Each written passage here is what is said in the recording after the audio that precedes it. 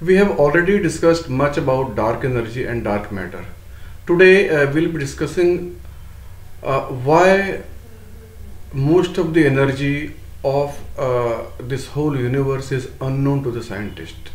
Why dark matter or dark energy is unknown. That is why they are called dark. Dark means unknown.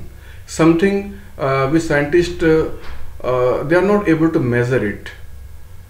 Sarmaji, what is the reason dark energy is not measurable? The scientist cannot measure it. Why? Dark energy जिस जिसको वो scientist बता रहे हैं जो unknown जो है ना समझ में नहीं आ रही जो जो पकड़ में नहीं आ रही किसी यंत्र में वो पकड़ में नहीं आ रही है जी। उसका आ, मुख्य कारण है कि जो यंत्र उन्होंने उसको जांचने के परखने के देखने के लिए और उसको प्रयोग में लाने के लिए उसको जो यंत्र बनाए हैं वो यंत्र किसी जिसकी मैं अन, अपने अंतर में झाँक करके मैं आत्मा परमात्मा जीवात्मा जिनकी बात कर रहे हैं वो बहुत अति सूक्ष्म अ, स्थितियाँ हैं। तो वो जो अन्य बहुत छोटी स्थितियाँ हैं उनको उन्होंने क्रिएटिंग करके जो ये बनाए हैं यंत्र। तो जो यंत्र क्रिएटिंग करके बनाया गया है तो जैसे मैं एक आ- उदाहरण के लिए आपसे एक ये चीज़ ले लूँ कि एक तलवार से किसी चीज़ को काटना है। तो आपने किसी पेड़ पौधे या किसी चीज़ को ठोस चीज़ को आपने तलवार से काटा तो तलवार की धार बहुत बारीक होती है। मगर यहाँ पर मेरा मैथ है या मेरी उस दृष्टि पे अंदर झाँक करके देख के ये बताना ज़रूरी हो गया कि वो जो अति सूक्ष्म चीज़ है, जो अति सूक्ष्म उसका सिस्टम बन बन रहा जिसके बारे में हम पीछे से बात कर रहे हैं कि डार्क एनर्जी किस तरीके से, किसे कह रहे हो। तो वो जो सूक्ष्म चीज़ है, वो सूक्ष्म अणुओं से वो चीज़ धार आपने बनाई। और जो धार सूक्ष्म अणुओं का झुंड है अंडों का झुंड है उस उस अंडों के झुंड से जिसे आप धार कहते हो वो एक अंडे को आप अगर ढूंढोगे काटोगे खोजोगे असंभव हो नहीं सकता। वो चीज़ हो नहीं सकती। मगर ये एक यौगिक साइंस के अंतर्गत अंतर में अपने शरीर में झाँक करके बताया जा सकता है, देखा जा सकता है, जाना जा सकता है, उसको कहा जा सकता है कि ये कैसे, ये किस तरीके से काम कर रही है।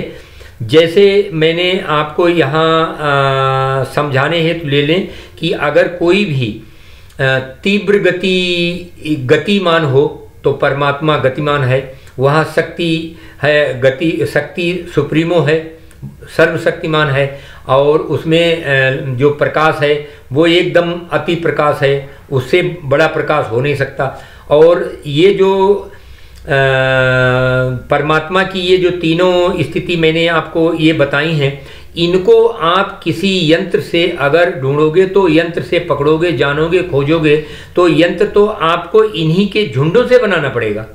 तो वो प्रकाश तो इतना हल्का और इतना सूक्ष्म है तो किसी प्रकाश से आप उसे कैसे पकड़ोगे क्योंकि जो प्रकाश आप जिससे पकड़ना चाहते वो तो प्र, प्रकाश भी अपने में एक झुंड है अंडों का। तो अंडों के झुंड से एक अंडे को आप पकड़ रहे हो। यहाँ पर भी चाहे आप कह रहे हो कि स्लिप हो रहा है या भाग गया हमारे पकड़ में नहीं आता। ये अननोन एनर्जी है। ये कह करके आप अपना वक्तव्य पूरा कर सकते हो मगर हम नहीं कर सकते। हम अपना वक्तव्य जब ही पूरा करेंगे, जब हम आपको ये बता दें कि सूक्ष्म में क्या हो रहा है। और ये सूक्ष्म में बेस स्थिति है कि यहाँ पे ये हो रहा है। यहाँ पे अगर अंडा जो है, ये अंडा परमात्मा की स्थिति थी। अगर अंडे को देखें तो वो आपस में वहाँ पल, अलट पलट रहा है।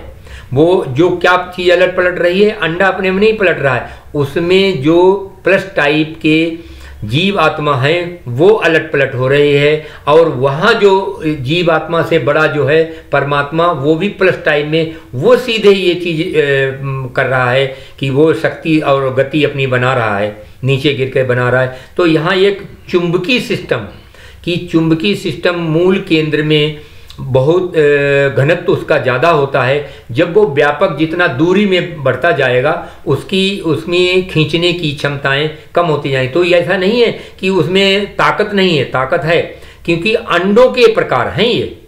ये अंडों के प्रकार हैं कि जहाँ घनत्व है, वहाँ घनत्व वाले अंडे हैं। जहाँ मीडियम है, वहाँ मीडियम वाले अंडे हैं। और जहाँ पे वो हैं तो ये जो शक्ति है ये आत्मा प्रतम परमात्मा की जो क्रिएटिंग की जो शक्ति, हमने सिस्टम बताया, वो सिस्टम का सारा सिस्टम है। तो इसमें पूरे ब्रह्मांड में अनेक प्रकार की अंडे हैं और अनेक प्रकार की जो, नाना प्रकार की ये परमात्मा की गतिविधियाँ हैं और इनकी जो प्रोटोन जिसको आप हम अंडे कहते हैं वो अलट पलट हो रहे हैं। अगर ये कहीं आपस में नेगेटिव और पॉजिटिव भी एक ही चीज़ में स्थित होती है, दोनों चीज़ें एक में स्थित हुई हम पहले से ही चल रहे हैं इस चीज़ को कह करें कि नेगेटिव और पॉजिटिव एक ही अंडे में दोनों इस चीज़ स्थिति हैं। और ऊपर का चुंबकीय सिस्टम और नीचे का घनत्व, ये भी उस अंडे में सीमित है। अगर आपस में विरोधाभास हो जाते हैं और ये आपस में टकरा जाते हैं और टकरा जाते हैं तो इससे एक ऊर्जा पैदा होती है।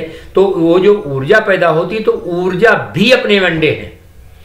हम यहाँ बहुत सूक्ष्म बात कर रहे हैं।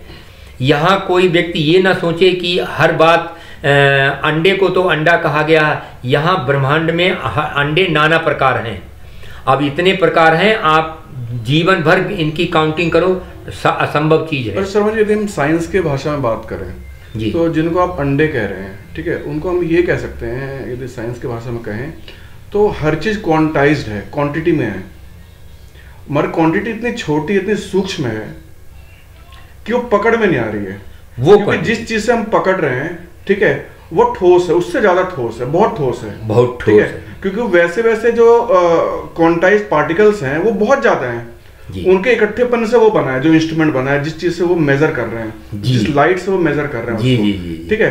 तो उसका फोर्स ज़्यादा है ठीक है? और एक जो पार्टिकल्स है ब्रह्मांड का वो बहुत सूक्ष्म है ठीक है? इसलिए वो पकड़ में नहीं आता है। नहीं इसलिए ब्रह्मांड की जो ज़्यादातर एनर्जी है और मैटर है वो अननोन है। वो अन, इसीलिए अननोन और इसलिए हाँ और इसलिए हमारे लिए अननोन नहीं है। आपके लिए अननोन ही। मेरे लिए unknown क्योंकि आप क्योंकि आप, मैं अपने अंदर में झाँक रहा हूँ। आप अंदर से देख रहे हो ठीक है?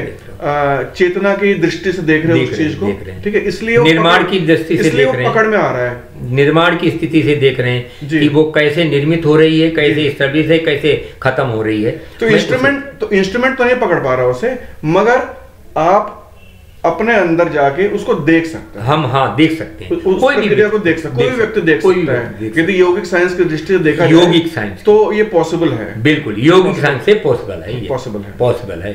और ये मॉडर्न साइंस से ये चीज़ पकड़ में नहीं आएगी ये चीज़। कल की एक कल का बड़ा एक अच्छा विषय था जो बाद में मैंने अंदर में बहुत झांकने के बाद निकला कि वो जो सेवेंटी थ्री परसेंट था। उसमें दो परसेंट अंडे का जो बाहर का आकार है जी। तो वो अगर दो परसेंट उसमें से वो निकालें सेवेंटी थ्री परसेंट और ट्वेंटी थ्री उसके जो अंडे का पीछे का है। जी। तो वो उसमें अगर कैलकुलेट करके हमने सारे निकाला तो वो जाकर के वहाँ नाइन्टी सिक्स बन रहा था।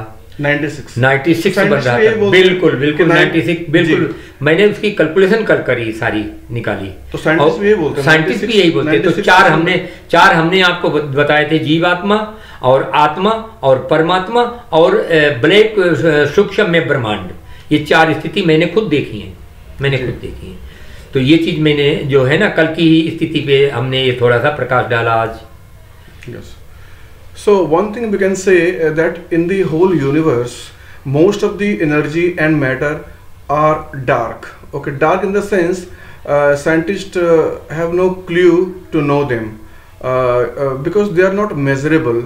And why they are not measurable? Because they are so tiny, so small that they cannot be detected by instruments we use because instruments are made up of uh, the you know uh, we can say the instrument is very very gross as compared to the very tiny and small particles of the universe.